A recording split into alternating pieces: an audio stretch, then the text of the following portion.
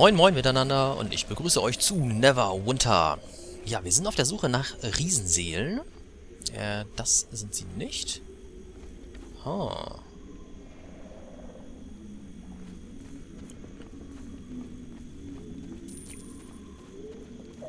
Das sind ja diese blöden Rotkappen mit den riesenlangen Armen. So nenne ich sie jetzt einfach mal. Langarmgartenzwerge. Sind das da vielleicht welche? Die Riesenseele. Haha. Wenn man vom Teufel spricht, ja. Kommt er angeritten.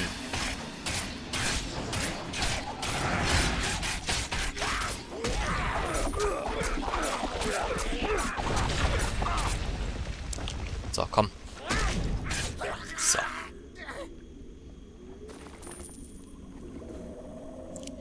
Baumschlüssel. So, jetzt müsste ich genügend Baumschlüssel haben. Ähm, und irgendwie sollte ich jetzt irgendwas aufmachen, oder? Wie war die Quest jetzt nochmal? Nicht auf Lager. Genau, Riesenseelen. Zutatenlager zerstören. So. Wo sind die Zutatenlager? Kriegstrolle.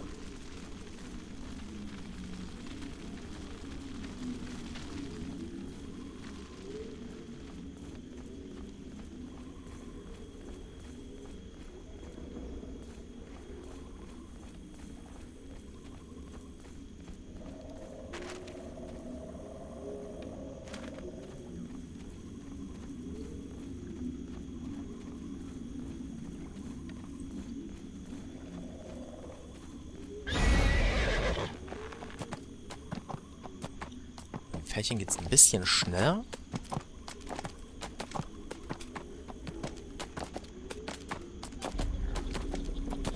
Die untere Bank. So, so.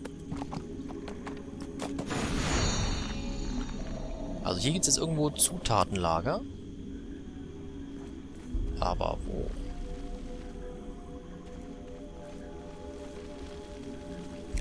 So, Riesenseelen. Ach, da. Irgendwas leuchtet da.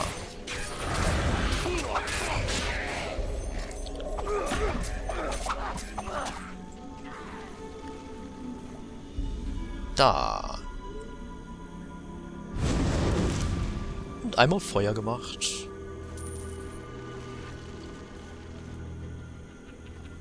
So. Davon gibt es jetzt noch mehr, richtig?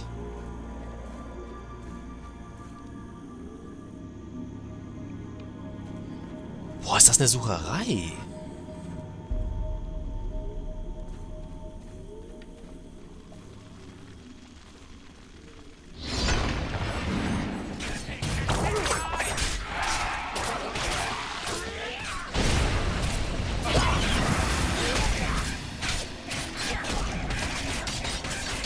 Oh, ich sehe schon das nächste. So links aus dem Augenwinkel quasi.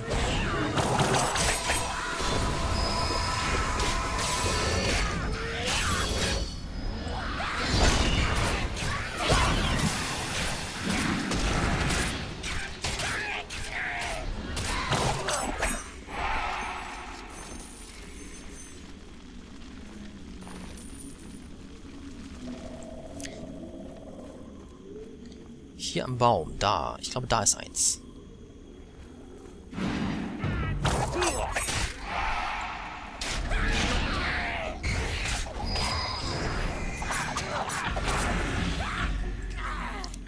So, komm.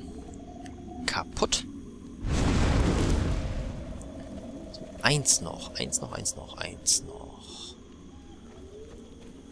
Ja, die bewachen eins. Sehr schön. Es läuft.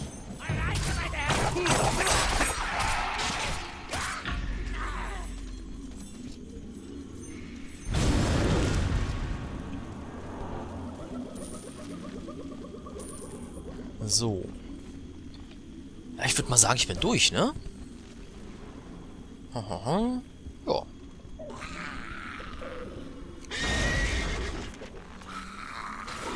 Dann kann ich zurück ins Lager. Vielleicht mal einen Weg, wo ich nicht kämpfen muss.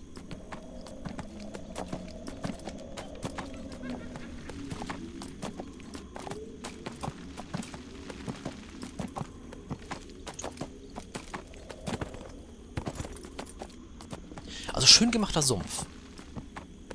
Echt schön. Gefällt mir.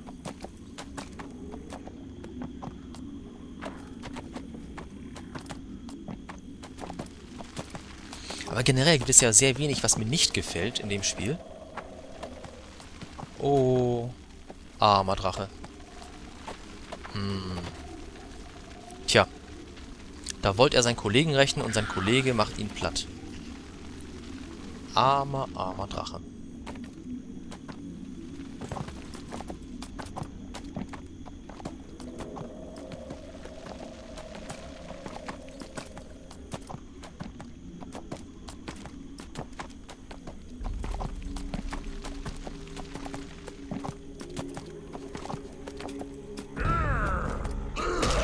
Hör.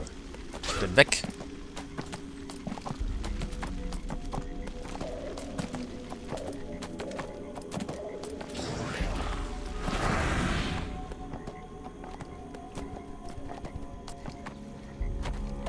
Wer liegt denn hier?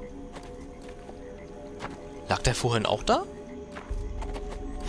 Irgendwie habe ich das nicht bemerkt. Na gut. Ja, geben wir mal die Quests ab. Omora-Hexen sind eitle und geblendete Kreaturen. Es wird Zeit brauchen, um die Verschmutzung durch die Hexenkappen Giftpilze zu beseitigen. Das glaube ich auch. Doch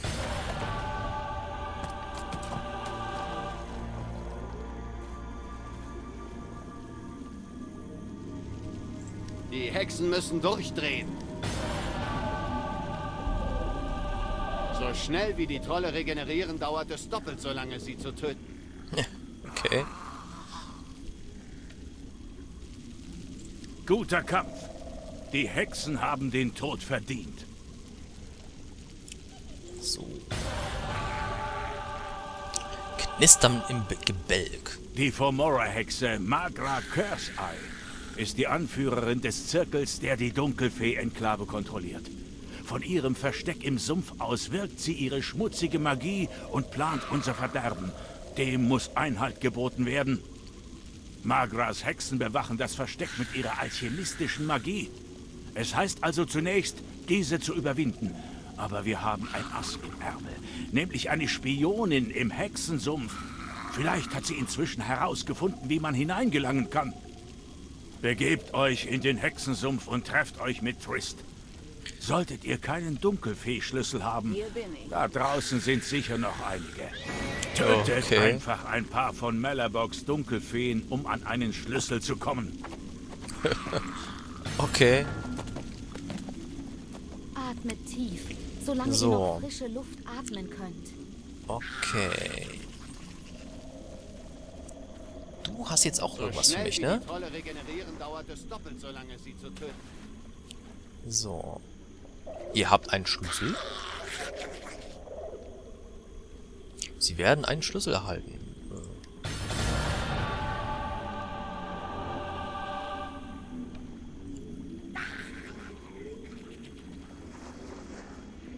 Aber eigentlich ähm, muss ich ja woanders hin. Also ich könnte jetzt hier das Boot nehmen und wohin?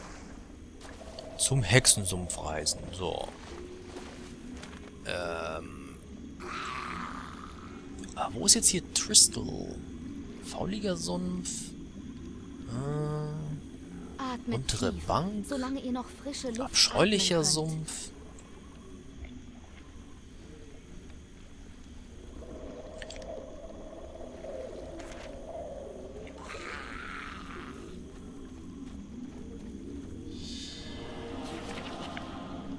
So, hm. Hexensumpf reinigen.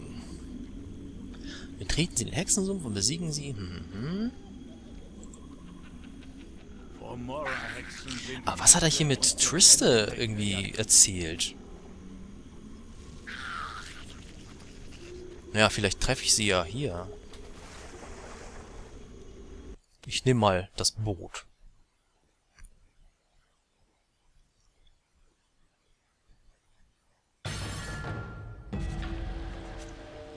Fomora-Hexen.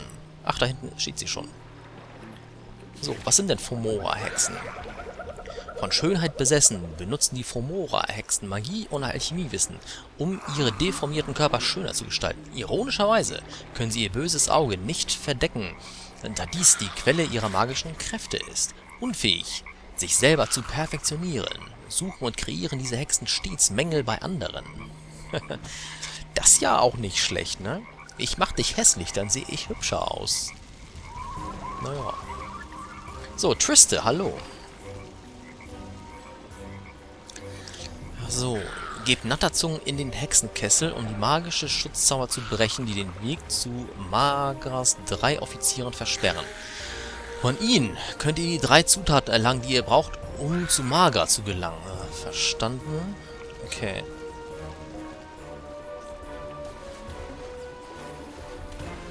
Dann mal los. Mal gucken, wie lange das Ganze dauert.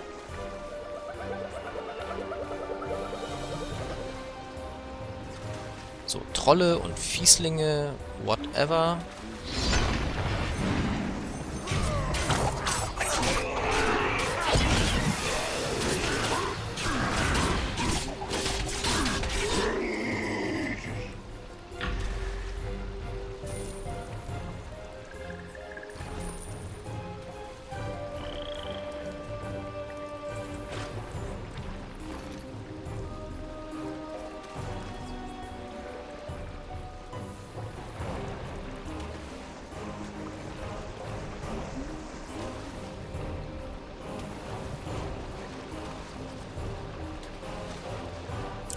Oh, ein kleiner Wasserfall. Wie niedlich.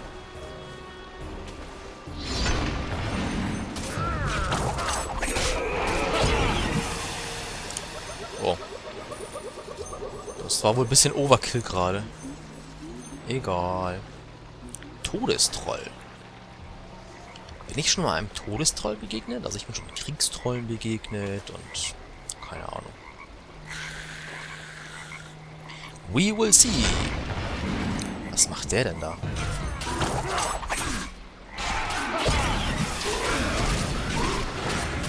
Oh, randalierender Wahnsinn. Jetzt zuschlagen.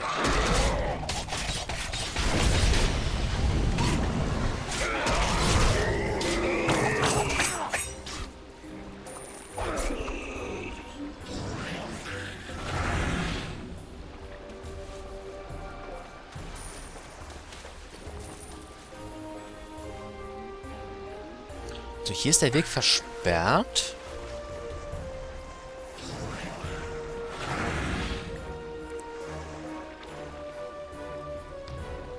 Aha.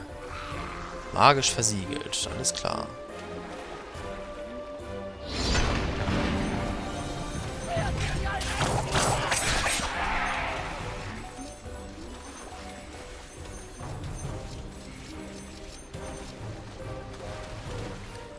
So, dann ab zu ihren drei Offizieren. Hexengebräu.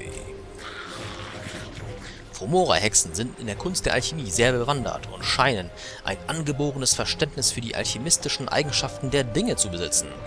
Was den meisten Beobachtern nur als Sammlung schleimiger Innereien und Kräuter erscheint, wird in den Händen einer Hexe zu oft mächtigen Zutaten für Tränke, Hellsicht und Beschwörungen.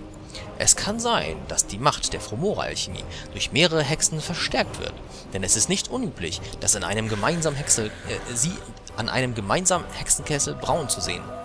Die Hexenzirkel hüten ihre Geheimnisse mit Eifer und lassen sich nur in den entlegensten und unwirtlichsten Höhlen und Sümpfen nieder. So, so. Ja, Freunde, ich muss mal kurz an euren Kessel ran.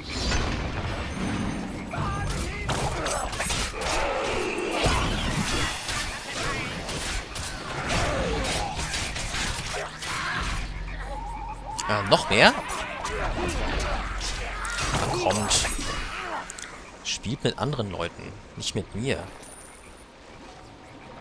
Ich muss zu eurer Chefin. So. Natterzunge hineingeben.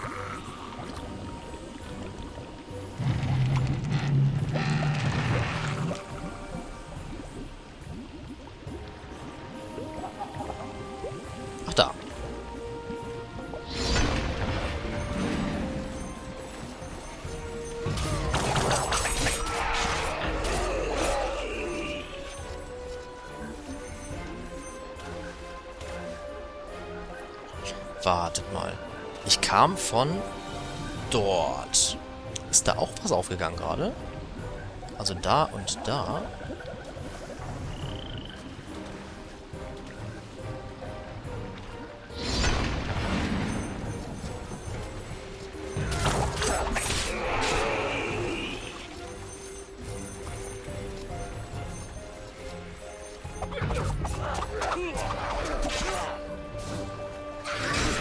Oh, eine Hexe. Ja. Böse Hexe. Böse Hexe. Hier hast du.